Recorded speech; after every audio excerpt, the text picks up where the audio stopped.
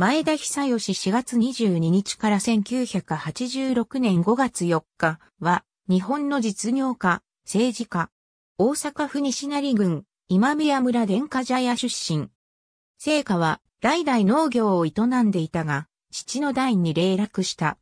1904年、天王寺市藩附属小学校を卒業。家庭の事情で進学を断念して、漬物桶製造店や呉服問屋にでっちに出る。1909年、実家に戻り、呉服の行商を始めた。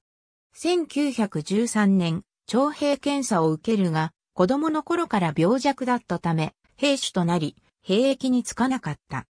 同年、母方の祖父母が経営する新聞販売店の手伝いを始め、1914年、その経営を任された。地道な努力により、数年で取扱部数を10倍に増やし、南大阪でも指折りの新聞販売店にする。1922年7月9日、南大阪新聞を創刊。1927年、新聞社を株式会社に改組して社長に就任する。1933年、工業関係の専門誌として日本工業新聞を創刊。これにより、関西ですでに先行していた大阪朝日新聞、大阪毎日新聞漁師の経営陣からも一目置かれる存在となり、大前の社外役員に迎えられるなど、前田は一代で大阪の新聞王に上り詰めた。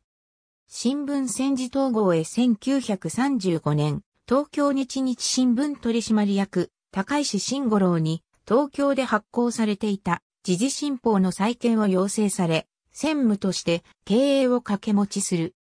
教団に倒れた社長、武藤山路の連載、番長会を暴くを受け継ぎ経営を好転させ、株主総会で増資を図ったところ帰って、会社解散を議決されてしまう。前田は、時事新報社生産決定後の処理に、奔走、1936年12月25日、時事新報を東京日日新聞に合同させて収監した。戦時体制が進むにつれ、新聞紙の統廃合を余儀なくされるが、夕刊大阪新聞と日本工業新聞はそれぞれ合わせて50紙紙を合併。1942年、日本工業新聞が産業経済新聞、夕刊大阪新聞が大阪新聞となった。なおこの時、東京で産業経済新聞と同種の経済専門誌として、日本産業経済が創刊するが、これは東京で発行されていた中外商業新報をベースにしたもので、後に日本経済新聞と解題する。産業経済新聞は日本産業経済との住み分けもあり、東京本社を設けず、西日本での発行に集中することになった。戦後の産経新聞周辺戦後、再び上京。時事新報復刊を目指した同志元主筆で、慶応義塾大学名誉教授の板倉拓造に壊れ、戦前の習慣の責任もあり関与して、復刊を実現したが、マスメディア経営者として、戦争に協力する論人を張ったとして1946年から4年間、公職追放にあった。1950年10月、追放解除により、大阪新聞と産業経済新聞の社長に復帰。直後、板倉から時事新報社の経営を引き継ぐとともに、時事新報に続いて産業経済新聞東京本社版の発行を開始した。この拠点として東京有楽町のオフィスビルを取得。跡地には現在楽町ビルが立ち、富士山系グループの産経ビルが運営する雑居ビルとなっている。1951年、東京で発行されていた世界経済新聞を統合、産業経済新聞東京本社版は、超有刊セットでの発行となる。世界経済新聞は1948年頃には、世界日報の紙号を使っていて、大事は後に、世界キリスト教統一神霊協会が中心となって、創刊された同名の保守系一般紙に転用された。1952年、空撮分野の強化を目的に、産経新聞東京本社航空部を母体とする日本観光飛行協会を設立。同社はすぐに日東航空と社名変更し、日本国内航空、東亜国内航空、日本エアシステムを経て、2002年の JJ 統合で日本航空の前身となった。1955年、産業経済新聞東京本社を移転するため、東京、大手町の国有地を取得。東京産経会館を建設した。前田は東京産経会館をベースに産業経済新聞社を改装。東京本社、大阪本社、それぞれ独立した経営体制に移行させる。そして分離独立した株式会社産業経済新聞東京本社と産業経済新聞社両社の代表取締役会長に就任。戦時統合以来の経済専門誌から一般紙に転換し、朝日、毎日、読売に次ぐ第4の全国紙として育成した。また、時事新報と産経東京本社版を合同して産経時事とする。時事新報社は業務の一切を産業経済新聞社が受託するという形で、休民会社化し、存続、将来の復刊の可能性を探ることにした。一方、時事新報の主筆を務めていた板倉も産経時事の論説委員長兼主筆に就任。産経新聞となった後の1960年、高齢を理由に胃がん退職するまで第一線のジャーナリストとして活躍した。産経新聞の売却1958年、日本社が独立していた会社を再合同して、現法人、株式会社産業経済新聞社を設立。東京本社版が産経時事、大阪本社版は産業経済新聞と東西で異なっていた大号を現在の産経新聞に改めるが、関東進出のコストがかさみ、特に東京本社の経営が悪化して、巨額の負債を抱えた。前田は、住友銀行頭取、堀田正造を通じて財界からの支援を要請。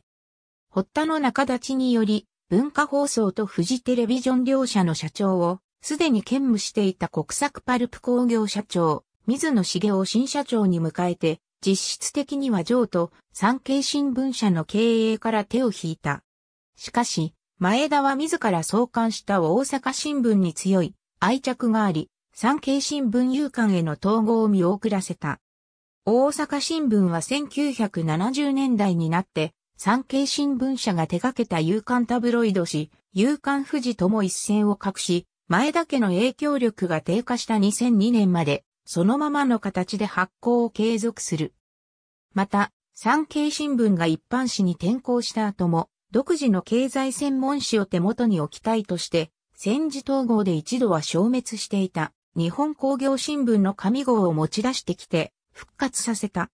ちなみに、現在の産経新聞社では、戦前の日本工業新聞の伝統は産経新聞に引き継がれていると認識されている。そして戦後の日本工業新聞は復刊したのではなく、この時に新たに創刊したものだと説明している。その後、2021年6月30日で、富士山系ビジネスアイは休刊となり、翌7月1日から産経新聞に統合の上、富士山系ビジネスアイ面が新設され、日本工業新聞社が主催していたイベントも産業経済新聞社が継承した。関西テレビ設立とネットワーク構築、産経大阪本社は関西テレビジョンの社名で近畿圏民放テレビ第3局の免許を申請していた。これが京都新聞や神戸新聞を中心にした近畿テレビ放送と競り願いになり、前田は京阪神急行電鉄総水小林13に調整を依頼して大関西テレビ放送の社名で一本化することに成功。ただし在京キー局については未定で、京阪神急行と同系の東方が出資するフジテレビとするか、また、産経新聞社もわずかながら出資した世界初の教育専門民放である日本教育テレビとするか決めかねていた。なお、ネットには産経東京本社から監査役も派遣していた。しかし、水野が産経新聞社とフジテレビの社長を兼務することになることで、大関西テレビ放送から解消された関西テレビ放送は産経新聞社と京阪神急行、東方を軸にして、フジテレビに接近。当初予定されていたネットとのネット関係確立がなくなり、その後、産経新聞社はネットとの資本関係及び役員派遣を解消した。ラジオ大阪と FM 大阪省は30年代前半には、前田は関西テレビ以外にもう一つの放送局開局に不審していた。これが大阪を拠点に近畿広域を対象とする AM 第3局となったラジオ大阪である。前田は OBC 初代代表取締役社長に就任し、同時に発行済み株式の約半数を保有。産経新聞社を手放した後の財界活動の拠点として OBC を重視した。久吉が引退した後も息子の前田富夫が OBC 社長職を引き継いだ。1986年、久吉が死去すると OBC 株は富夫に相続された。一方、東京タワーの建設で主導的役割を果たした縁で民放 FM 局開局にも関わることになり、1970年前だけとして FM 大阪の設立に関与。また日本初の民間 FM 実験局 FM 東海の後ろ身として株式会社組織への移行が迫っていた FM 東京には日本電波塔を通じて出資 FM 愛知と FM 福岡を加えた4局で JFN の基本となる関係を構築した。しかし、前田家は FM 大阪と OBC の両方に大株主として影響力を持ったため、富尾が亡くなる直前の2005年、マスメディア集中排除原則に基づく総務省の調査の結果個人としてただ一人行政指導を受ける。富尾は OBC の株式を産経新聞社に売却、OBC は開局48年目で正式に富士山系グループ入りを果たした。FM 大阪株も日本電波等に売却されたものの、こちらは放送対象地域が異なり、かつ東京 FM の持ち分保有比率が小さいこともあり、総務省は適法と判断している。大阪銀行追放解除直後の1950年、関西財界や大阪府知事、赤間文蔵、大阪市長、近藤博などの要請を受けて、大阪不動銀行の設立に関与する。大阪不動銀行は1957年、大阪銀行と解消して、全国地方銀行協会に加盟。2000年、近畿銀行と合併して、近畿大阪銀行となるが、2019年に関西アーバン銀行と合併して、現在の関西未来銀行となった。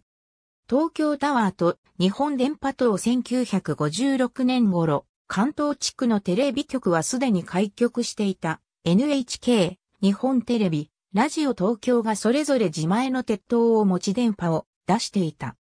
郵政省電波管理局長、浜田重則は、これでは東京を中心とした半径 70km 以内にしか電波が届かず、また都内に鉄塔が乱立することによって都市景観が悪化すると考え、各局の電波発信機能を一本化した総合電波塔を構想する。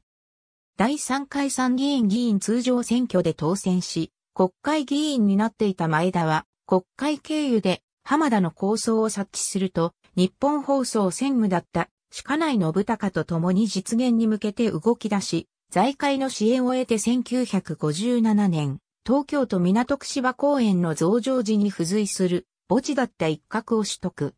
運営会社、日本電波塔を設立して着工、実質後期わずか1年で高さ332.6メートルの東京タワーを完成させた。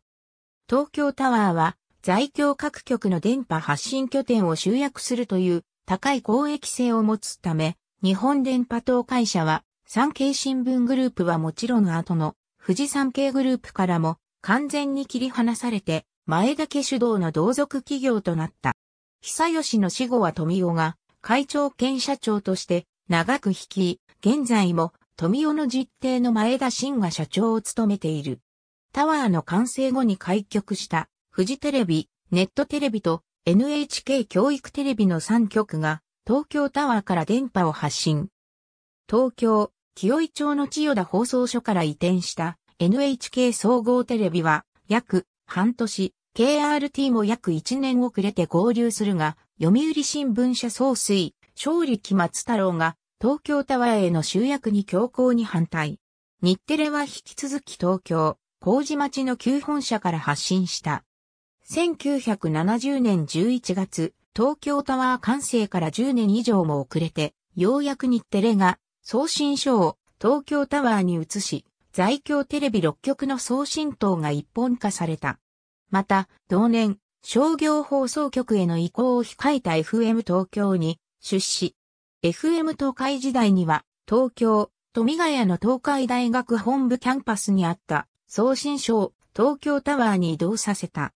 1964年、首都圏民放テレビ第5局、科学テレビが開局すると、東京タワー直下の敷地を提供して、スタジオを建設、運営を引き受けることになった日本科学技術振興財団に賃貸した。1985年、東京、神谷町に日経電波会館が完成するまで東京12チャンネルと後ろ見のテレビ東京は本社を置き、その後も芝公園スタジオの名前で主力拠点として使った。東京タワーは地上デジタルテレビジョン放送への移行にあたりより安定した電波を求める放送関係者の声に押され、2012年東京都墨田区に建設された東京スカイツリーにメインのテレビ送信塔機能を譲るが、東京 FM は日本電波塔会社が大株主であるという事情もあり引き続き、主送信所として利用するほか、テレビ各局も予備送信所としての利用継続を決めている。マザー牧場東京タワーの建設予定地探しの過程で、千葉県富津市の東京湾に面した六谷山が候補に挙げられた。前田は六谷山の近くの木灘山周辺の土地を取得するが、東京、芝公園の現在地が取得できたため、観光施設として開発することにした。これを受け、日本電波塔の子会社として、暴走開発を設立。1962年、観光牧場、マザー牧場がオープンした。しかし前田は、六谷山から電波を出す夢を捨てきれず、1980年代には、送信所をマザー牧場内、演奏所を千葉市において首都圏一へをカバーする民放 FM 局を計画したこともあった。前田の死によって構想は頓挫するが、1989年、千葉拠点の独立 FM 局となる、米 FM の開局へとつながってゆく。一方、暴走開発や日本電波塔グループ各社は2009年、地元のコミュニティ FM 局カズザ FM の筆頭株主になった。2015年には暴走開発の所有する、六や山ゴルフクラブ内に送信所を移転している。暴走農業高等学校1964年に暴走農業高等学校を設立した。当時は農業科が設置される全寮制の男子校であった。1978年には普通科も設置され、暴走学園高等学校へと改称した。しかしながら、1988年には学校内で殺人事件が発生し、生徒に逮捕者が出るなど、問題の多い学校であった。1994年に並行する。